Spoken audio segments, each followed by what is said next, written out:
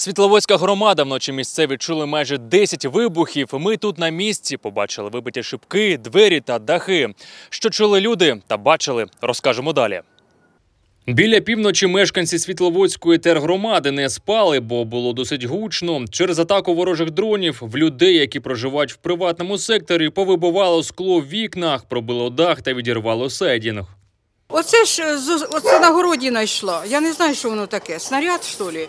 70-річна пані Любов зночі разом із чоловіком на городі. Саме там, з поміж часнику та цибулі, знайшла залізний гострий уламок. Під час сирени жінка не ховалась, бо немає підвалу.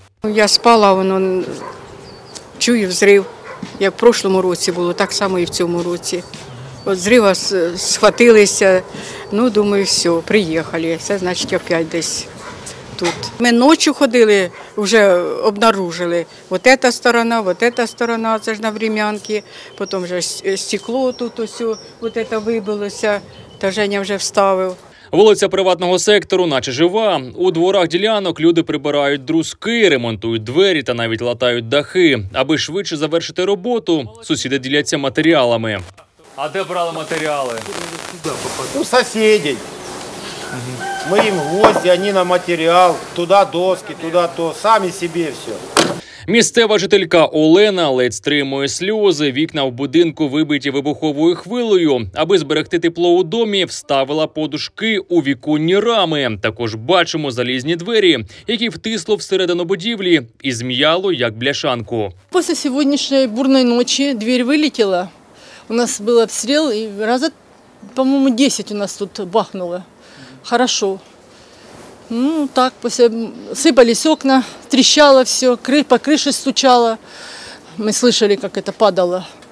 Дрожали, тряслись, ну, как, переживали, молились, чтобы только обошлось. У нас особо и прятаться-то некуда. Садимся в коридорчике, да и сидим. Вот так. Хватаем собачек для руки, кошку и сидим коридоре. Нам некуда прятаться. Подвалов нету, тут бомбоубежищ нету. Я позвонила, мне сказали, что должны подойти.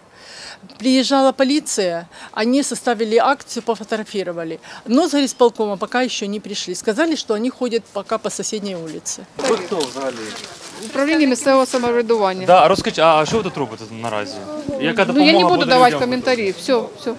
На вулиці бачимо комісію. Фахівці від коментаря відмовляються, але нам вдалося з'ясувати, що вони збирають дані від постраждалих, роблять фотофіксацію та описують масштаб руйнувань. Аби дізнатись більш детально про допомогу постраждалим, ми відправились до міськради. Наразі відомо про 34 пошкоджених будинки, які вже обстежені. Розмір грошової допомоги поки не вказується. Згідно мого розпорядження створена комісія, яка зараз обстежує е, будівлі. Надходять, до речі, на даний час е, іще дзвонки на нашу гарячу лінію.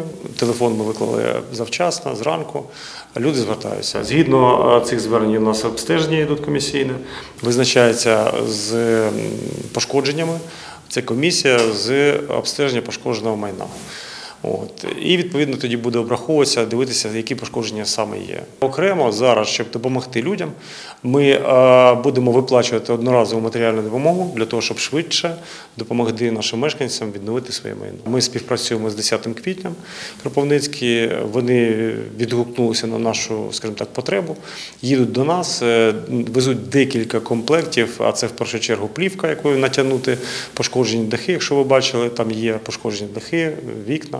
От і деякі будівельні матеріали. Нагадаємо, вночі 18 березня Російська Федерація запустила по українських областях 22 безпілотники.